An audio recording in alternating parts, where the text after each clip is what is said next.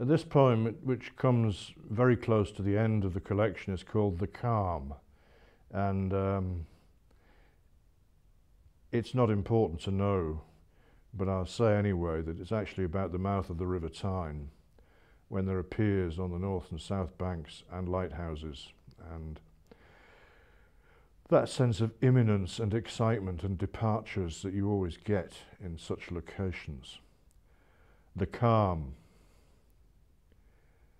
at the mouth of the river, moon, stars, an arctic calm, the twin lights at the end of the piers revolving with the smoothness we expect of supernatural machinery. Seen from down here on the beach, the harboured ocean slowly tilts like a mirror discreetly manhandled by night from the giant room it was supposed to occupy forever.